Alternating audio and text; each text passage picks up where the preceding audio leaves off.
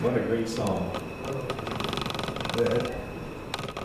So many times we have this yearning for something in our lives. And we tend to fill that something with all kinds of junk. A, a void in our lives that God created for only Him and His Spirit to fill, but we tend to want to fill that void with all kinds of stuff. It could be materialistic things, which seems like our society is really heavy into. Uh, it could be drugs or alcohol or sex or just something because we all thirst and hunger for something in our lives to fulfill us.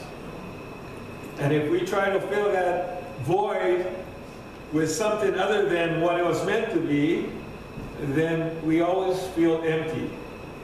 And uh, as you can kind of tell that our theme today is about water. Um, but, you know,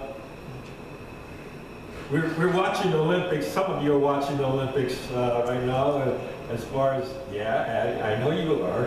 I heard about it. And you probably go out and play beach ball or something and like act like you're one of the competitors, right? And you want to win the gold. But the thing is, uh, um, you probably see the Gatorade commercials, right? Or then you see the uh, athletes drinking uh, Gatorade or, or, water or something.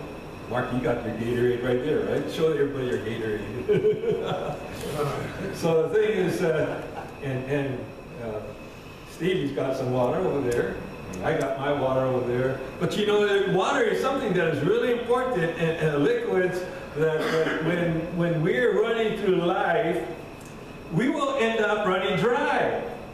And if we don't that we're, we're seeking, we're going to end up pretty messed up, right? Just like these athletes, and, and I don't know how many of you saw that, um, the bike race. How many of you saw the bike race? Anybody? I was watching the bike race. It's kind of late at night. And here's this uh, woman, I can't remember what country she was from. She was in the lead, and pretty soon she hit something and she went head over heels. I think she broke her collarbone. And then America, the USA biker, was in the lead, and she was, you know, just keep, she was all the way to the end. But you know what? There's three people that are behind her at the end, passed her up, and she ended up fourth. Wow. That's pretty sad, right? How, can you imagine how she felt? That here she was in the lead the most of the time, and then towards the end, she ended up not getting anything at all. That's pretty sad, right?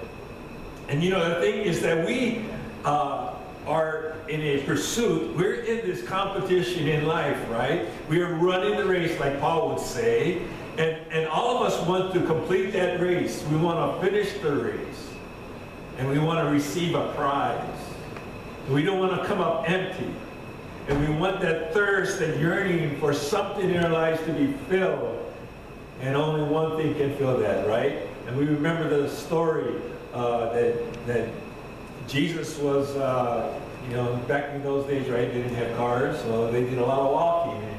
And of course, uh, it says here, therefore when the Lord knew that the Pharisees had heard that Jesus was making and baptizing more disciples than John, although Jesus himself did not baptize, but where his disciples were. He left Judea, and you know the map, right? He's up here, and he went again to Galilee and had passed through Samaria. Now, most of the Jews, they hated Samaritans, and so they would go the long way around Samaria, but Jesus went through Samaria. And I think Jesus was intentional to go through Samaria because he had a plan.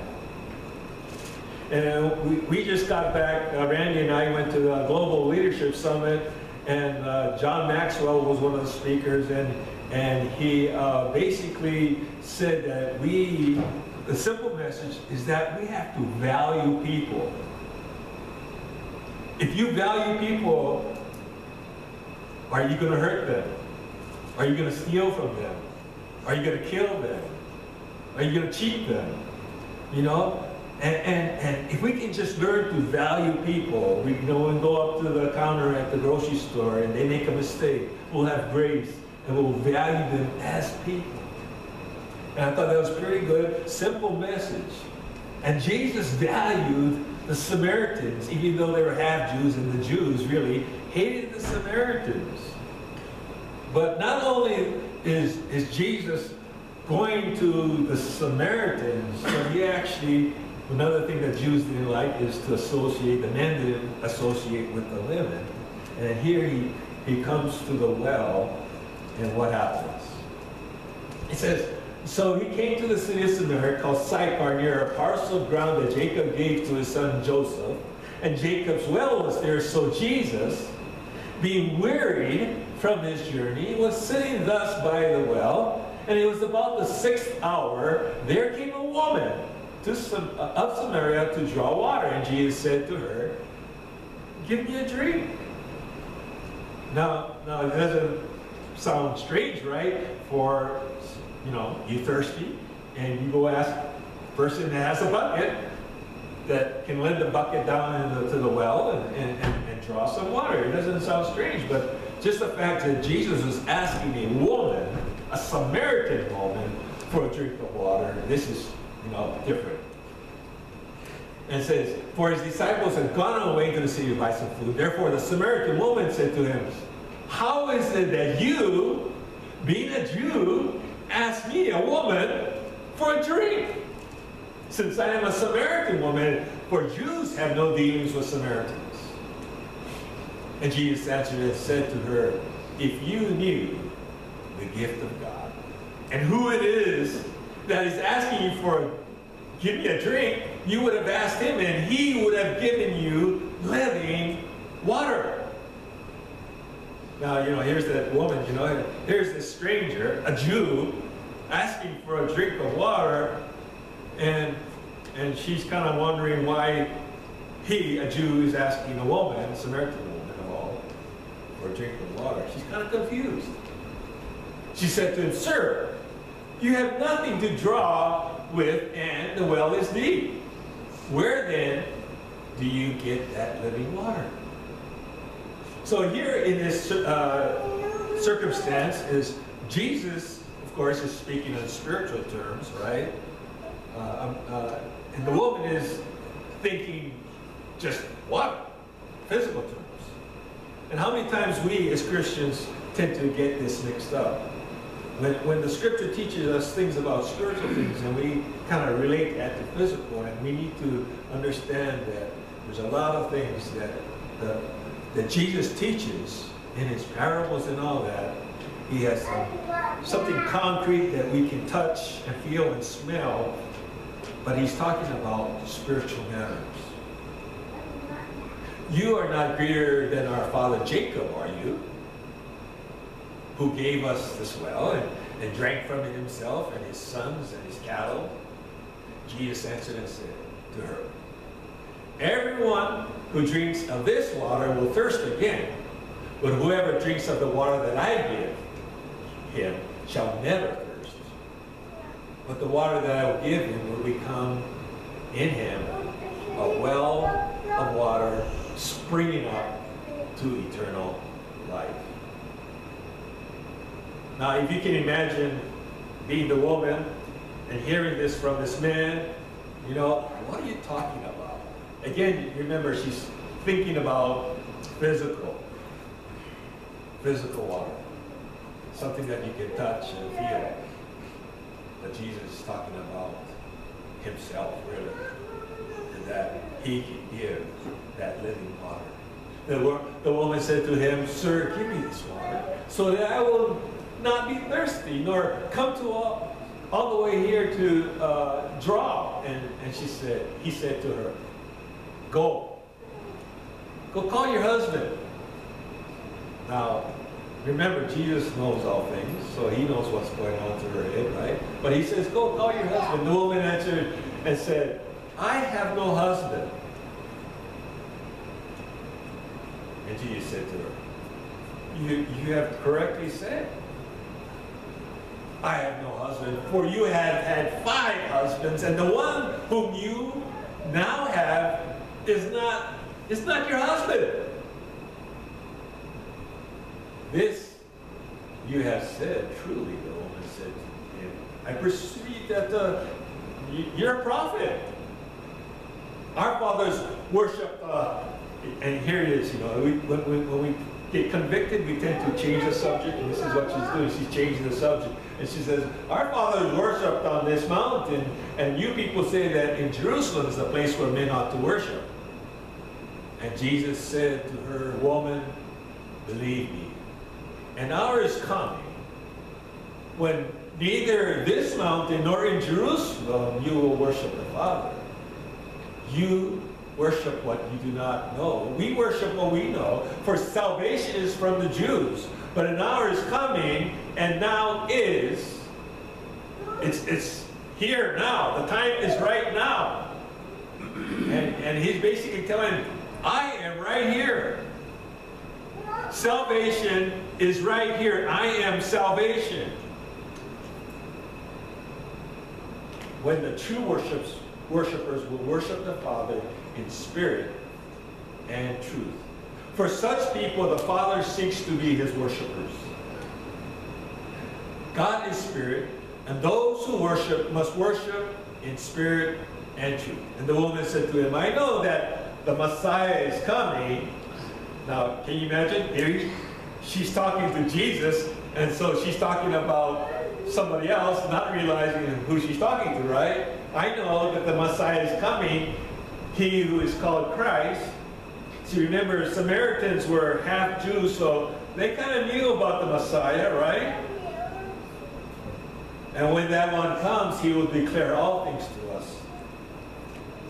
Jesus said, now get this. Now, if you were that Samaritan woman and someone said to you, I, who speak to you, is that person, the Christ, the Messiah. Can you imagine what went through her mind?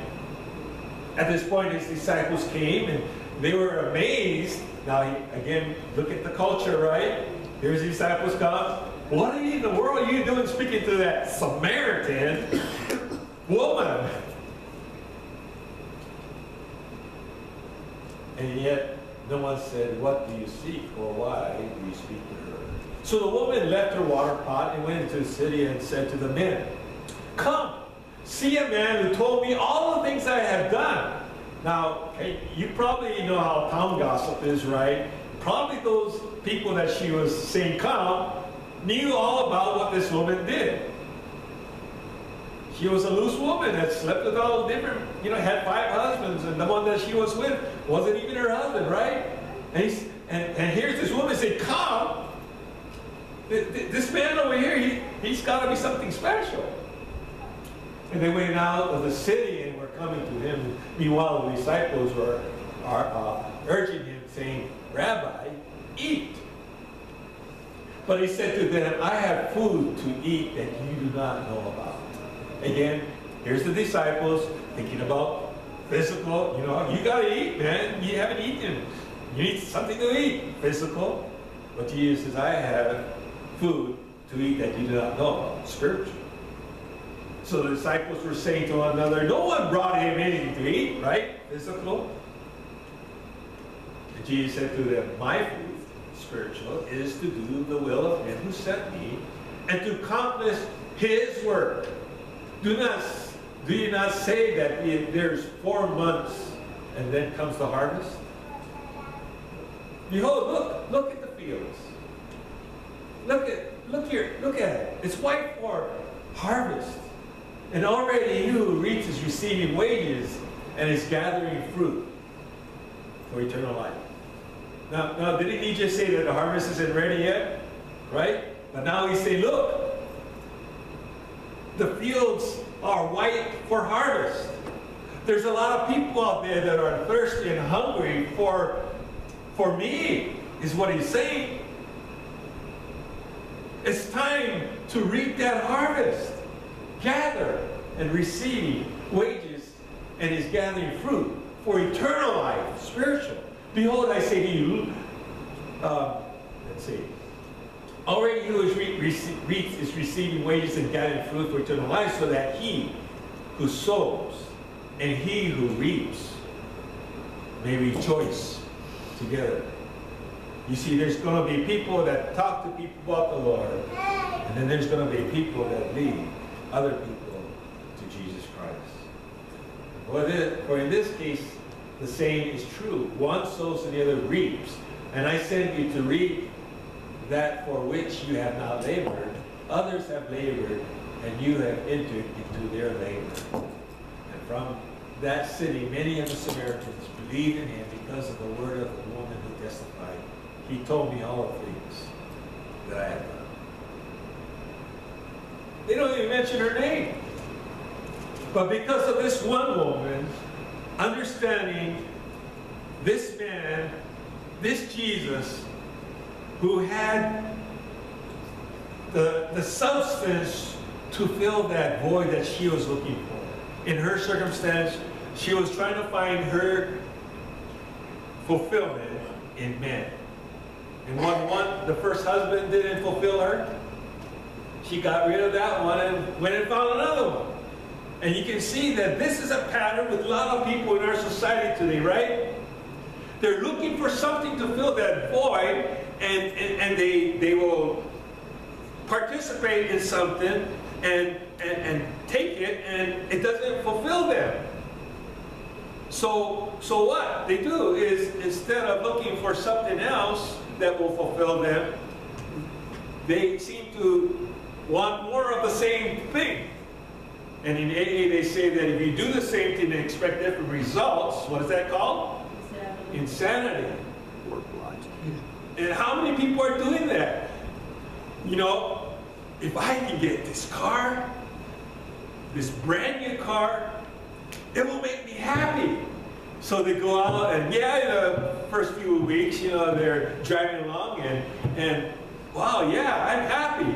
Then pretty soon, you know, somebody scratches their car and they're not too happy, right? And then pretty soon they get into an accident. They're not happy, right? And pretty soon they want another car. I mean, I've seen people have a brand new car, and a year later, they're trading that in for another brand new car. What kind of sense does that make? You know, they say that once you drive that car off the lot, it loses, it depreciates a couple thousand dollars three to four thousand dollars. But they're over there trying to fulfill that empty spot, and they keep on getting further and further debt because they are hungry and thirsty for something that only Jesus can fill. It says, so when the Samaritans came to Jesus, they were asking him to stay with them. now again, remember, here, here's the Samaritans who hated the Jews. The Jews hated the Samaritans. But here, here's a man who is revealing truth to them. And what do they do? They invite Jesus into their home. Now, there's another uh, story that we've heard before, right? The man Zacchaeus, remember? He was hated by the, the people, right? Because he cheated them.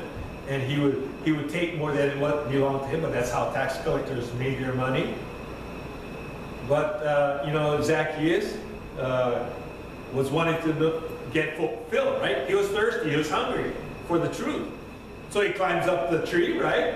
And then he sees Jesus coming, and Jesus places value in Zacchaeus. And he, and, and he knows Zacchaeus' name. He says, Zacchaeus, what? Come on. Oh, I'll eat it. What did he say? You come down for I am going to your house today. I'm going to fellowship with you. I'm going to stay with you. Here's Jesus who, who, who values Zacchaeus to say, I want to be a part of your life. I want a relationship with you. In the same way that the Samaritans, they wanted, to, they wanted to know they found the key to fill that thirst and the hunger that they had. So he says, we want you to come and stay with us. And he says that he stayed there two days, and many more believed because of his word. And they were saying to the woman, it is no longer because of what you said that we believe, for we have heard for ourselves and know that this one is indeed the Savior of the world. And I, you skip a couple of chapters, and, and here's Jesus again. He said to them, I am the bread of life. He who comes to me will not hunger, and he who believes in me will never